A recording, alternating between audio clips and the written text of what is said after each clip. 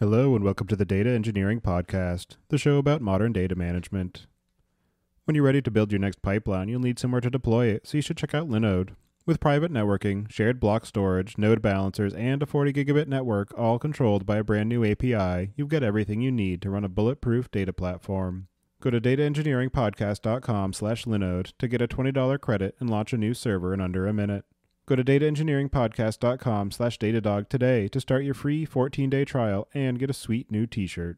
And go to dataengineeringpodcast.com to subscribe to the show, sign up for the newsletter, read the show notes, and get in touch. Your host is Tobias Macey, and today I'm interviewing Dan Robinson about Heap and their approach to collecting, storing, and analyzing large volumes of data. So, Dan, could you start by introducing yourself? Hey, it's a pleasure to be here. Thank you so much for having me. And uh, wondering if you can just uh, describe a bit about how you first got involved in the area of data management.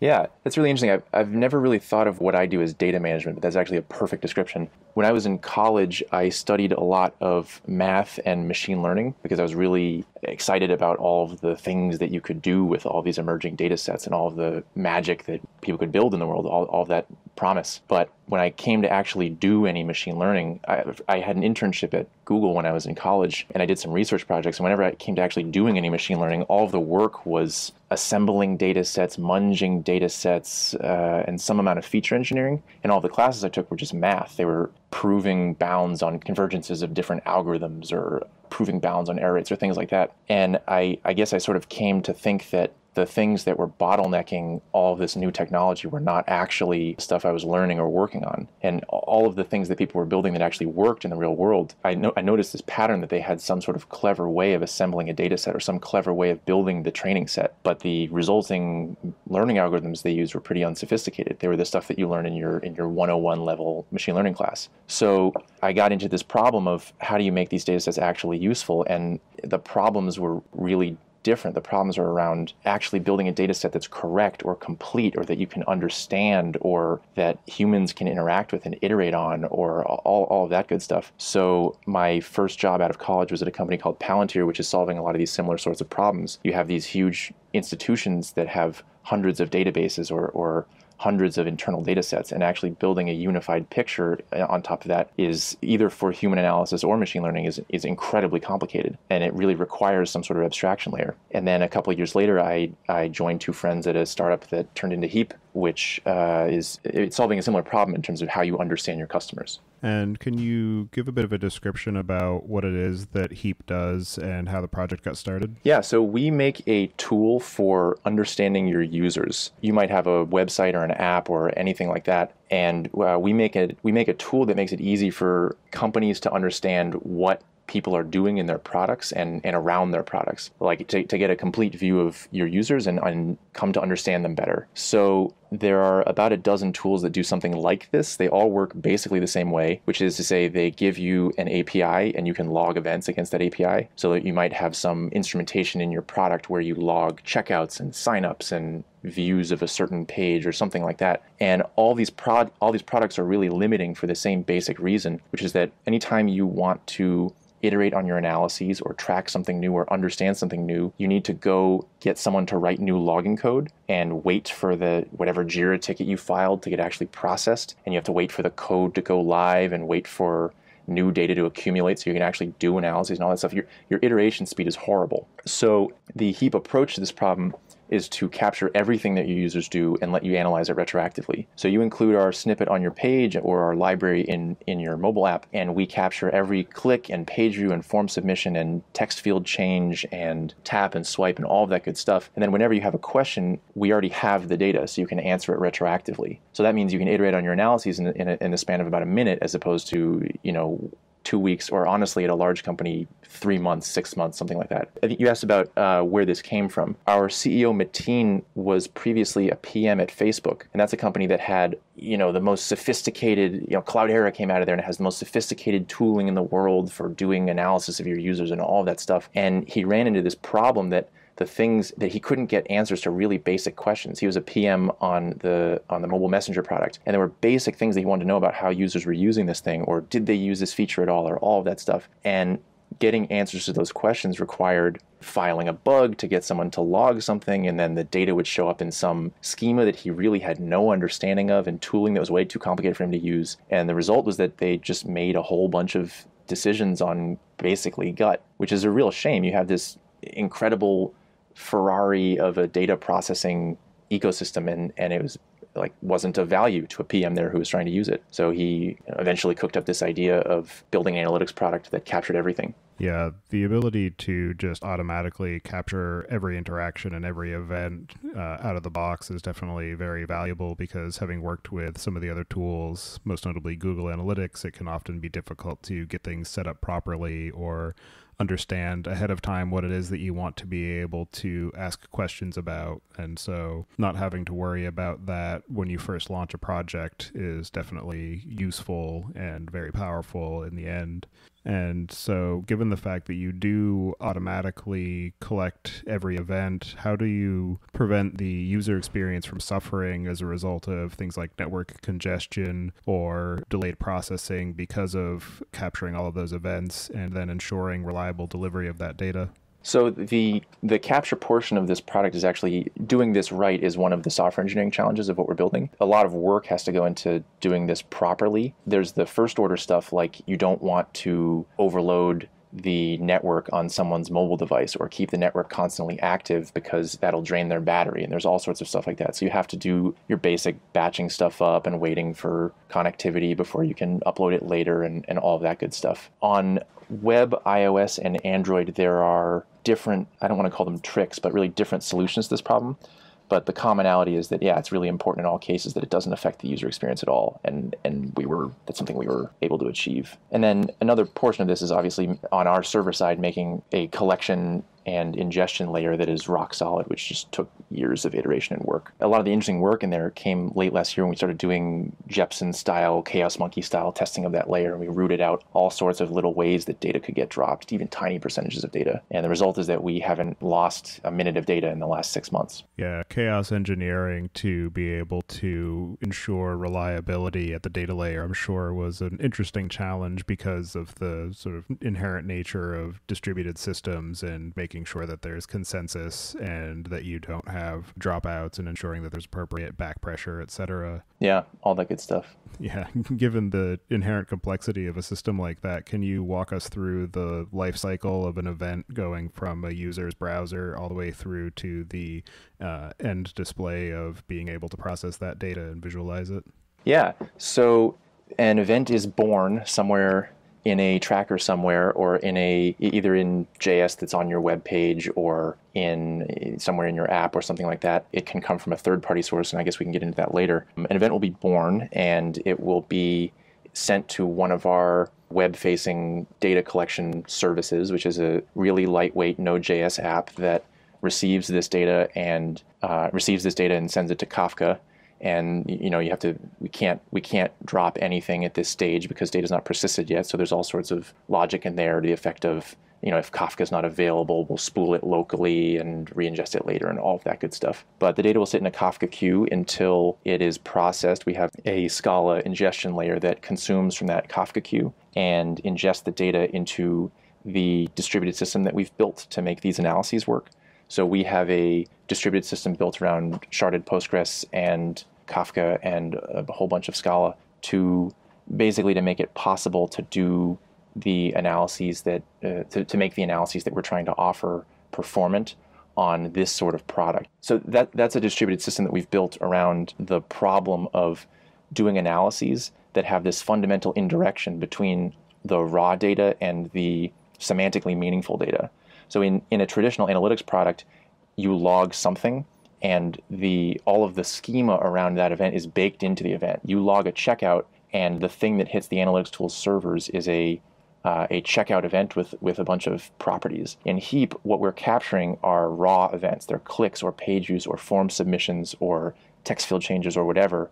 They don't have any semantic value yet. And then in Heap, you create what are called definitions, which are basically predicates. A definition is something, for example, you would click a button on your site and say, this is the checkout button, and we'll extract from that various properties like the CSS of the button you clicked. And then we now, we now have this label, a checkout, that we can apply to all of your historical clicks that match that definition. So then this is how that whole retroactivity idea works. You can define a checkout and then analyze all the checkouts that have ever happened going back to when you first installed this. But from a data engineering point of view, that means we're supporting analyses that are in terms of these definitions, which you don't know when the events come in and they can always change. They're dynamic. We needed to build a new kind of distributed system to make it possible to do these analyses performantly. Oh, uh, and you wanted to know the uh, the full life cycle, yeah. Um, and then the read path is fairly straightforward. We have an app server that is built in that is built in Node as well, and we have a, a front end that's built in in React and MobX and you'll create some sort of analysis on your you'll create some sort of analysis in our product and you'll run a query and our backend will turn that our app server will compile that into a query that our distributed system can support and we'll run the analysis and, and give you results back. And then two other important sort of destinations of this data.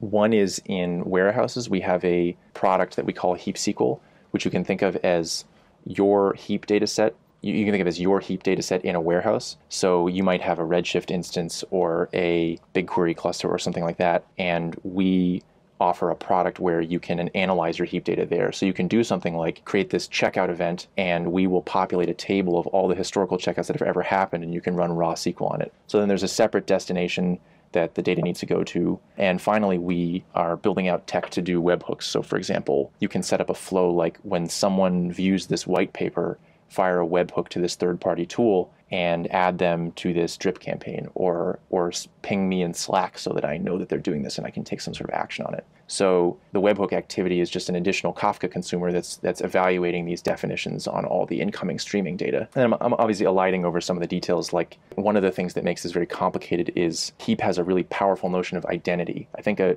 an important pillar in any sort of data set like this is having a coherent notion of an identity, like what a user, what an actual end user is. It's not usually a cookie. It might be someone, uh, an, an end user probably has some an end user probably has components that are in different cookies because they sign on in different browsers and they might also have interacted with your mobile app. And they've also interacted with a bunch of third-party tools like maybe they did a payment on stripe or maybe you sent them an email in mailchimp and all that data needs to go to one coherent user record so that you can do user level analyses that make sense. So there's a layer in here that i've elided over which is how these users actually get combined yeah that's definitely a complicated challenge in and of itself that we'll dig into in a minute.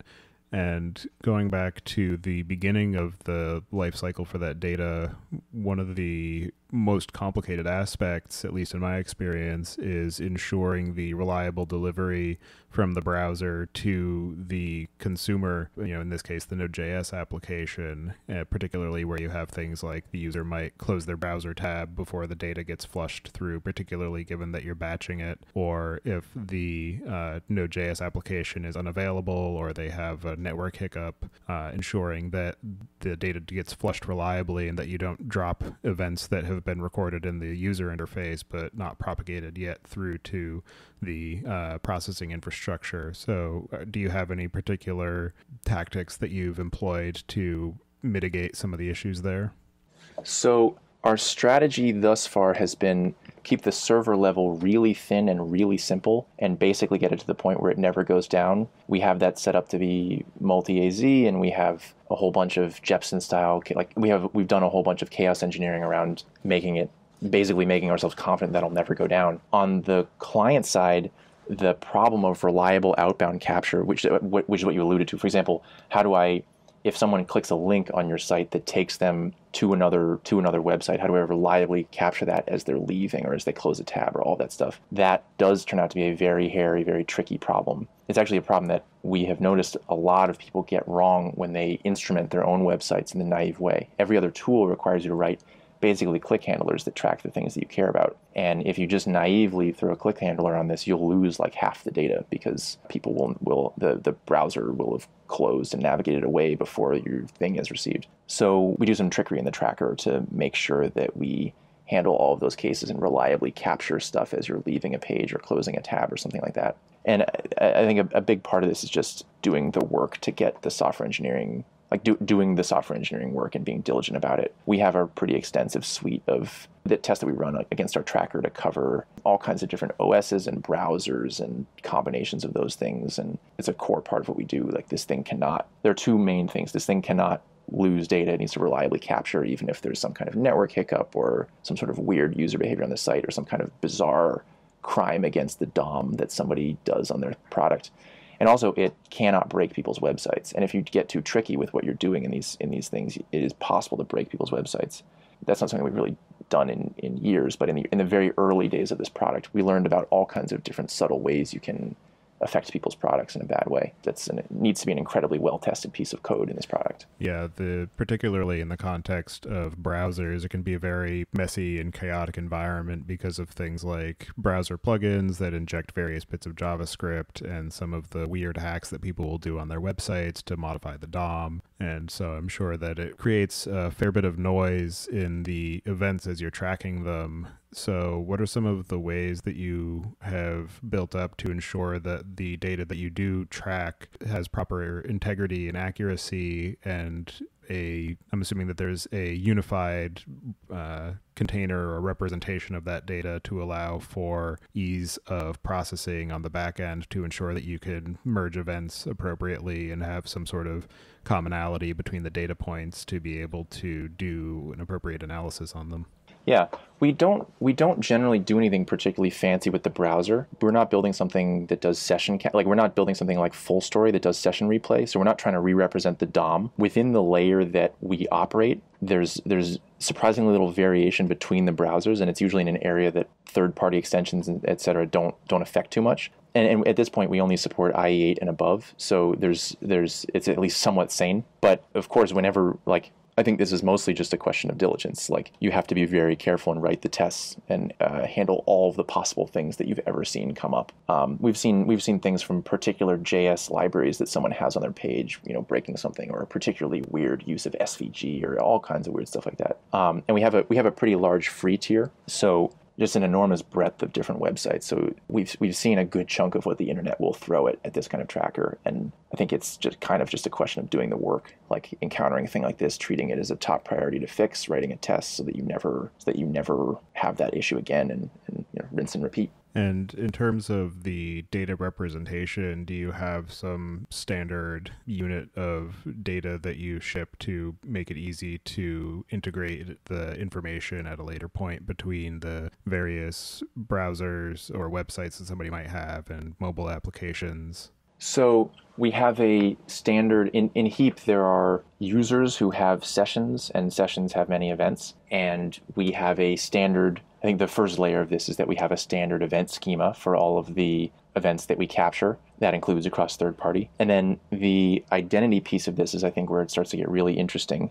The way that we handle this is we give users an API that lets them basically specify tags or handles that go on a user or identities, and we'll combine different users that see the same identity. And what's cool about this is that you can represent a really complicated user flow doing this. So, for example, you might have an e commerce product where users do guest checkouts and they enter their email when they do so, or they sign up and they have some some identity that's that's part of your system and heap lets you effectively create a graph of different components of users where edges reflect having a common identity at some layer, like having a common, these two users have the same email, or these two users have the same Stripe ID, or these two users have the same identity, or something like that. And we will combine all of those users in basically each connected component in that graph into something that looks like one user to you. So this is maybe an overcomplicated way of saying we give you APIs where you can tag users with various properties and specify that if two users have the same value of this property, they should be combined.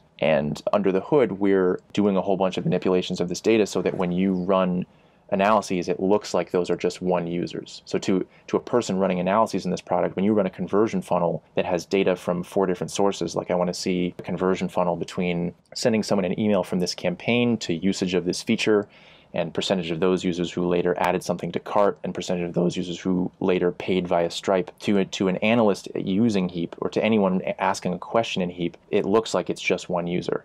And I think that's really important. All the really interesting analyses are at the user level. So that's a that's a big part of what that's a big part of what we're trying to represent. And what are some examples of some of the third-party integrations that you support and some of the complexities that that introduces to your infrastructure and your capabilities for being able to ingest data and merge it together with the data that you're collecting from the event trackers?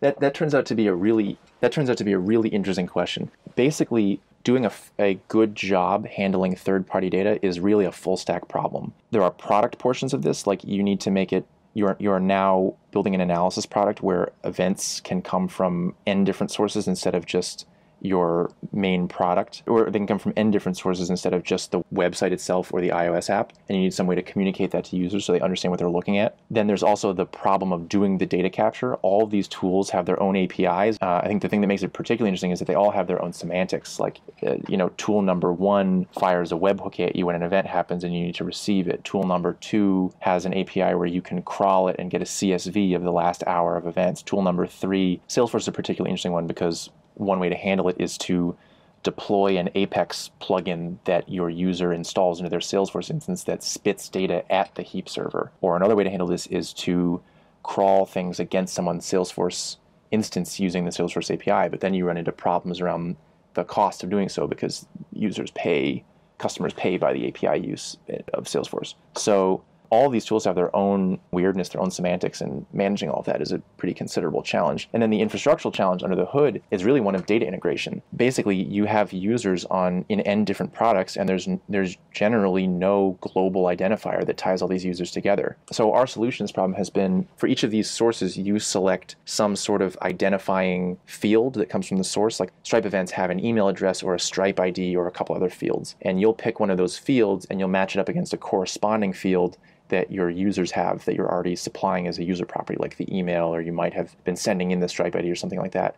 And we will do that that join under the hood. Doing that join turns out to be really complicated because we do it at write time. We persist those changes in our data store so that at read time the analyses are really fast. But that that turns out to add a considerable amount of complexity. Yeah, and one of the challenges there too is that it ties into the conversation that's been happening a lot in the data engineering space lately of ETL versus ELT in terms of when do you do that transformation and how does that impact your ability to do future analyses or retroactively change the way that you apply some sort of semantic meaning to the raw data. So it's difficult to decide when you want to make those changes, and particularly when you're dealing with large volumes, you don't necessarily have the luxury of just having it both ways of load the data into some raw archive and then also transform it in one of the storage storage systems so that if you then do need to go back and change the way that you're processing it, you can just reapply it from the raw storage. Yeah, I mean, in some sense, this is the problem of heap or we're building a product here that to a user feels like schema on read, but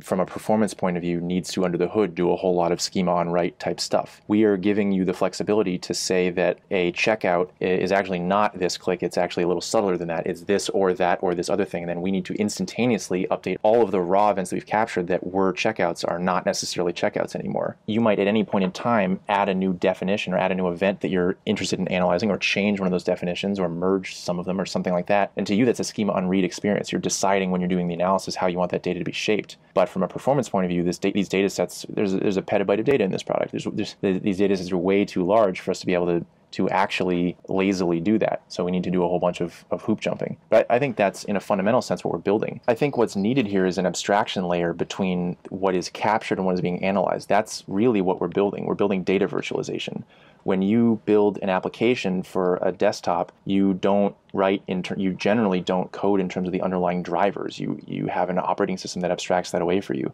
Or when you use a browser, you don't punch in an IP address, you type in a URL, and we have DNS that actually handles that indirection. And data sets should really be the same way. I should be able to change the configuration of my data set or change basically my schema and have the data set retroactively update. I should be able to say, actually, I additionally, I want to change my event schema. I want to additionally include this event, or I want to additionally include this property, or I want to remove this property because that's a, a PII concern, or I want to change how data is joined between my Stripe data set and my Salesforce data set, or I want to change how users are combined between my different subproducts or all of that stuff, there should be a there should be a raw a there should be a capture layer that captures a raw data set that is complete and totally automated, and there should be a configuration layer that you can modify at any time that determines your basically your schema, determines your event schema and your how your users are combined, your user identity schema, and all that stuff. And that should produce for you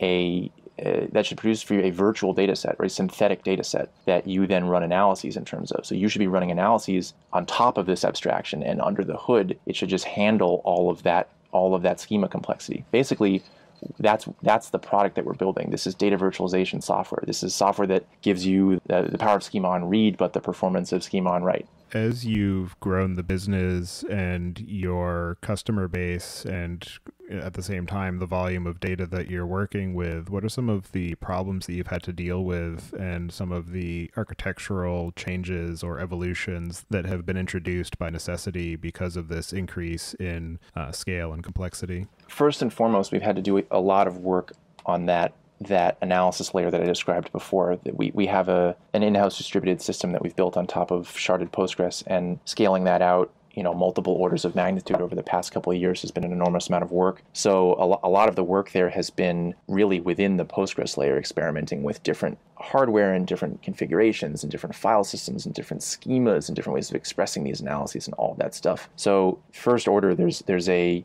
data there's a databases at scale problem here. Uh, another general sort of trend that we've had here is that we are giving our customers more and more complex ways to model their data or the ability to model more and more complex data sets like more complex notions of identity or more complex or richer data sets or adding third party sources. These are all additional complexifying factors. So our the number of distinct areas of our infrastructure has grown considerably even in the last 18 months of, of the last even even in the last year and a half really. And what are some of the changes that you are anticipating needing to make as you continue to bring on new users and increase the volumes of data that you're dealing with? A lot of the work that we're doing in 2018 is around scaling out the product that we offer to enormous customers customers that are that have websites that are you know in the hundreds of millions of sessions a month some enormous product like that and allowing the underlying components of our infrastructure to specialize. So what i mean by that is we currently have this distributed system that we've built on top of sharded Postgres, and it is really good at supporting the analyses in the heap product. So running conversion funnels or graphing instances of an event per day or unique users who did an event or things like that or cohorts and all that good stuff. Um, but there are a lot of other uses of this data in this product where we populate data sets in people's warehouses. There are uh, real-time use cases that it doesn't serve well. There are more advanced use cases like uh, there, there, are more advanced use cases, like more advanced statistical learning type stuff that people want to do on top of this data set and features will want to support there. And the system that we've built is is really, really good at at one thing and not really very good at these other things. So we're building a lot of new stuff right now to handle various different portions of this. So for example, we're building a separate S3 store for all of this data that will power future warehouse use cases. This will allow us to support Heap SQL customers that are 100 times as large as customers today for you know a 30th of the cost. There's, some incredibly improved performance like that. So that, that, that'd be an example of pulling out the persistence and the warehousing use cases from this data system that we've built and letting it focus on the thing that it's good at. So I think when people at startups generally talk about things being monolithic, they're talking about their app layer, which does too many things that they split into microservices. I think this doesn't necessarily apply to Heap because our app is still monolithic, and that's been totally fine because it's not it's not fundamentally that complicated. But the underlying data system is fairly monolithic, and we're splitting that out into a bunch of different data services that are not necessarily all that micro, but at least sharded out by by function. So that's a lot of the work that we're doing right now. And an, another large area of work for us is building out more of a platform and, and allowing people to use this data in much more flexible ways. Right now we have an end-to-end analysis solution that is very powerful, but this data set that we're that we are allowing users to create, this virtual data set, is really powerful and useful for all other kinds of stuff. It's there are a, a lot of other warehouses that people want to use this in and, and join it with other information downstream and run advanced things there. There are machine learning models people want to train. There are real-time use cases like a webhooks type use case. So building out the underlying data platform so that we can support a much more flexible set of use cases is another big area of focus for us right now. And digging a bit deeper into the difficulties and complexities of offering the synchronization with users' data warehouses. I'm wondering if you can talk a bit about the architecture that you needed to build out to ensure that that data synchronization doesn't cripple the end user experience of people who are doing interactive queries or visualizing the data on your end user portal. Yeah, so I, I mean, it's that's largely a question of capacity engineering. Building building a Redshift destination for this data has been a really interesting interesting experience. I think the the underlying difficulty here comes from the fact that the underlying data model in Redshift and the underlying data model in our analysis layer are just very different. So supporting things like a really complicated notion of user identity that unfortunately makes the data mutable, for example, is something that's very tricky in Redshift. So we've had to iterate quite a bit on how we want to represent that. And then another sort of interesting set of problem areas around around supporting something like this is that because Redshift is halfway between infrastructure as a service and a platform as a service, like I think you can think of Redshift as like 20% of the way to on-prem. So there are just a lot of environmental factors that are not under our control that make it easy for a customer, for example, to accidentally break their own heap SQL experience. For example, if they if a, if a customer changes some sort of security configuration in, or a, or a networking configuration, we can no longer access their cluster. Or if they toggle on a whole bunch of new data that they want to send to their heap SQL cluster and they don't actually have enough space for it on the other end, there's all sorts of sort of problems that you can run into here and then just factors that are, that are not under your control. This is in contrast to something like BigQuery, where we haven't seen nearly as much of that. It's it's um, uh, I don't I don't want to say idiot proof. I think the real thing is that it's just more of a platform and less of a piece of infrastructure. And what have been some of the most interesting challenges that you faced or lessons learned while building the technical and business aspects of Heap? That's a really interesting question. I think from a business point of view, one of the interesting challenges is and you, you may have already heard me struggle with this a half hour ago, is it really explaining what we are.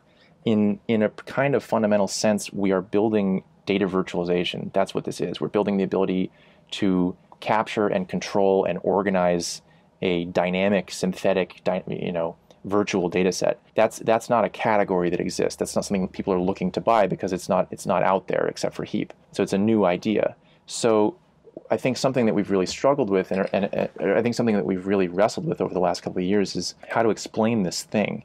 You can describe it to people as an analysis tool, and it is a much better way to do user analytics than, than other tools on the market. But that sort of undersells what this is for. That puts it in a, that's a kind of narrow, that is one of many possible applications of this, of this data set that, that is possible with Heap. But on the other hand, if you, if you don't map it to something that people already understand, then you're sort of inventing a category, which is really hard to do as a 100 person startup. So, really figuring out exactly how to position this and how to explain it has been a challenge. I think on the on the other the flip side of that is that when people understand what this is and they buy it, they love it. Unfortunately, I'm not going to get into numbers right now, but our churn and our, our, our expansion, our upsell are extremely strong. Like those are uh, for, for a SaaS company, I think we do off the charts in that area.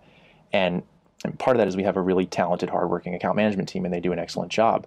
But another part of that is that the fundamental product here is very powerful and useful, and people will use it, and they want they want to buy more of it when it comes time to renew, or they start using this and they really don't want to go back to, to tracking plans. If, if you're not if you're not deeply into the space, a tracking plan is like a big spreadsheet of all the things that you're going to track and it's supposed to list all the things you'll ever want to analyze and of course you miss some things and it's it's an insane arcane way of doing this. No one wants to go back to that when they start using heap. So i think we have this interesting challenge that is hard for us to explain to people what we do and it's, it's a hard conversation to start and the person who would buy this at different companies is often very different. But once people do start using this it's incredibly sticky and powerful and they and they want to keep using it. So I, I that's I, I feel generally obviously I feel really optimistic about the company. I think this is one of the reasons that I, this is a problem kind of of messaging and educating the market. And I think that's a lot more solvable than if our product does not have some sort of fundamental fit. Like I would, I would rather solve the problem of educating the market about why data virtualization is so powerful and why they need it than have something that people already know how to think about, but it's not actually that valuable so that when they, you know, they, they end up churning off of it. From a technical point of view, a lot of the in some sense, the, the whole the whole product is technical risk. Like, uh, it, what attracted me to joining the company is that it's enormous technical risk and I thought relatively low product risk. It's it's a clearly better way to do analysis. Why would you ever want to? It's kind of silly that the way we do this in other tools is we whitelist the things that we want up front, which is crazy. Of course, you don't know the things you want. All the interesting stuff is in the unknown unknowns, but it's a really high technical risk. It's a kind of product that you know, making this, scaling this to enormous data sets, scaling the data capture, scaling the analyses so that large customers can use this in an interactive way, making this cost effective. All of that stuff is is really challenging. Another area of challenge for us is the is sort of unique as analytics products go in that at a lot of our customers, there's a lot of different producers of data. In in analytics, there's this idea of producers and consumers. You have in, in most analytics tools, there's a small number of people who create reports and then there's a large number of people who who view dashboards that consume reports basically.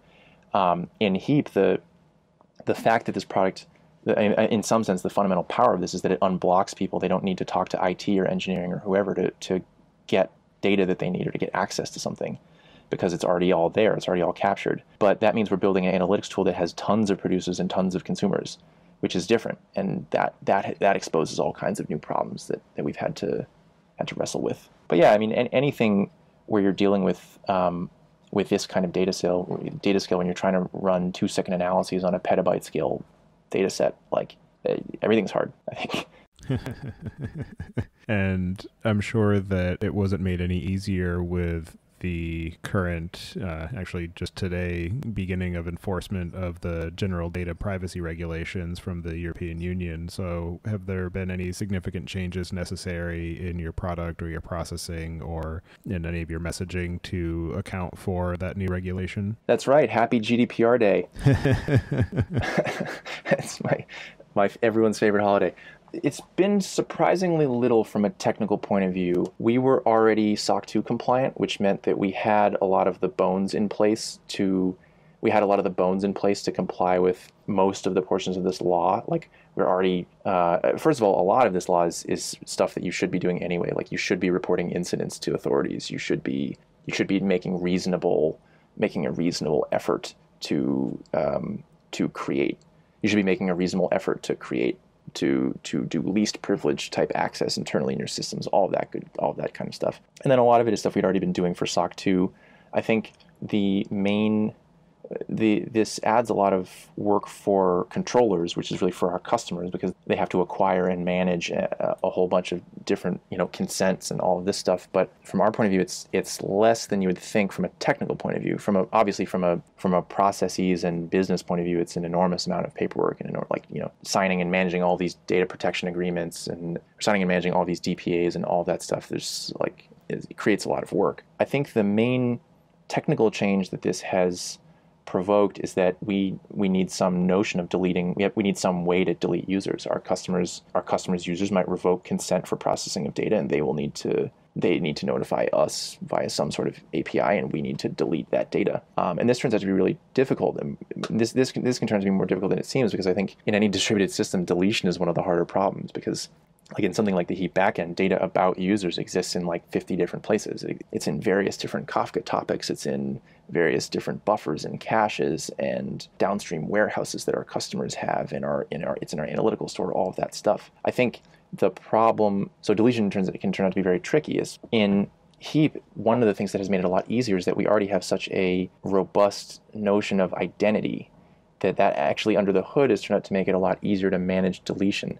So what I mean by that is if you need to delete all of the information that you have, delete or anonymize all the information you have about a particular user, the fact that we have a whole bunch of, of tech already to manage the complexity of this web of user relationships meant that this is actually surprisingly easy for us to implement. But it's definitely a, a pretty major change. I mean, previously there was there wasn't really any kind of first class way to do this.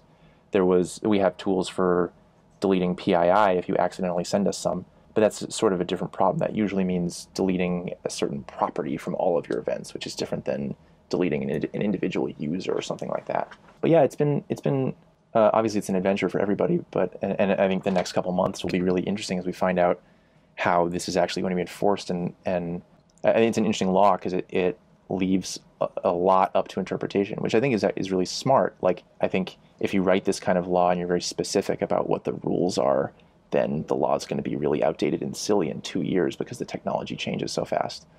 But the way that the law is written, it has obviously has this trade-off that there's it's very vague. So I think it'll be really interesting in the next couple months to find out how this is actually going to be interpreted and, and enforced. But thus far, for us, from a technical point of view, it hasn't been it hasn't been as bad as you'd think. And what are some of the plans that you have for the future of Heap, either in terms of new features or capabilities, or new business directions, or uh, just general you know infrastructure improvements?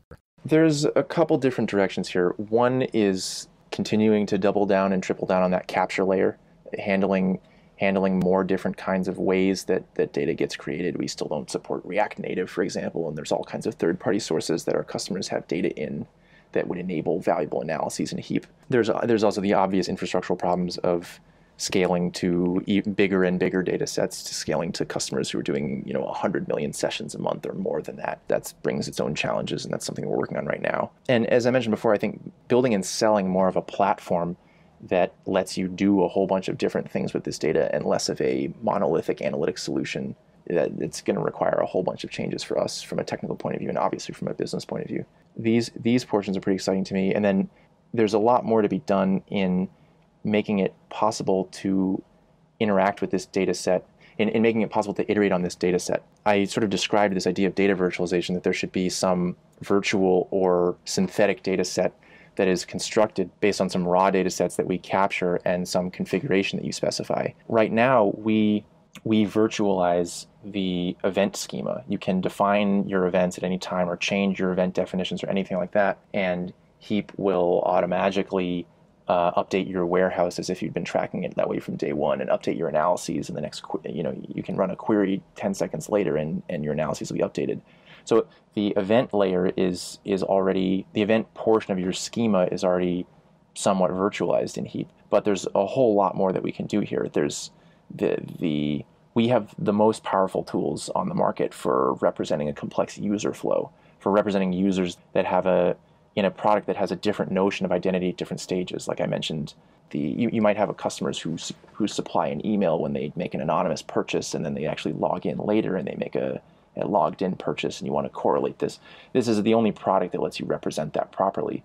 But even then, we don't let you do it in a retroactively modifiable way. We don't let you do it in a way where you can change the definition of a user and, and it will be as if you had been you had had it that way since day one. Right now in Heap, it's still something that you need to write code for. So making it possible to virtualize all of this stuff and make a truly virtual data set, I think is, is or over the next few years is going to it's going to require a substantive amount of work. I think one of the things that makes this space so interesting to me is that it is so clearly nascent. Like it's so clear that the data tech that so many companies use is just garbage. It's horrible. You can you, it's so hard for people who are spending for smart people who are spending a lot of money to answer basic questions or to build basic things. Nothing talks to anything. Like no one can understand these data sets. They no one no one. Uh, the the problem of getting to the point where you actually trust your data set and, and it's correct is incredibly difficult. That's usually most of the work. People spend you know 80 plus percent of their time just iterating on the data set, trying to get to the point where they trust it and it makes sense and it's correct and they understand it. And you have these data teams who are really in a lot of places like glorified knowers of the schema. They're glorified query compilers who can actually run an analysis or something like that. They understand which columns are correct and which aren't correct. All, all of this is going to look ridiculous in five years. This is it's so absurd that this is the technology that we use to make decisions. And I think the thing that will make this look so crazy is when, when I mean, it, it doesn't look crazy to go to work in a car until you realize that there's, you know, uh, until jetpacks get invented or something like that. I think when when data virtualization is a widely used, widely applied technique, technology, this will that'll solve a lot of these problems. You'll have a virtualization layer where you can understand what your what your data set actually means, that can explain it to you, that can proactively tell you things about its correctness or anything like that. So, I mean, this is this is this is what we're building. I, I think this is the the data infrastructure that companies need. This is the decision infrastructure that's going to make it possible for companies to do more complicated things at scale and serve their users better. But that's obviously, I think, what we do right now is is you know two percent of what we'd like to do. So, for anybody who wants to follow the work that you're up to or get in touch, I'll have you add your preferred contact information to the show notes. And you already talked a little bit about this, but from your perspective, what do you see as being the biggest gap in the tooling or technology that's available for data management today? Yeah, I mean, I, I think it's that lack of a virtualization layer. I think people are building really powerful tools that solve the easy parts of this problem. People are building tools that let you run Hadoop jobs over bigger and bigger data sets or shinier and shinier visualizations or, or analysis front ends with more bells and whistles. But the underlying problem is that people don't, is the data provenance, is the data integration. People don't have a complete data set. They don't have the event they needed tracked or they don't have they don't understand what checkout step two means, or they don't understand, they don't know if they can trust all these different things. They don't know if they can trust the, the um, if they should be looking at the price column or the amount column. Those I think are the, the interesting and hard problems here. That's I think that's what will actually unlock all the value of this stuff for businesses. That's what strikes me as is just egregiously missing, and you know that's obviously the problem we're trying to solve. All right. Well, thank you very much for taking the time today to join me and discuss the work that you're doing with Heap. It's definitely a very interesting product and one that I just started using while I was doing research for the show. So I'm looking forward to interacting with it as you continue to grow the business. So thank you for that. And I hope you enjoy the rest of your day. Thank you so much for having me. This is a pleasure.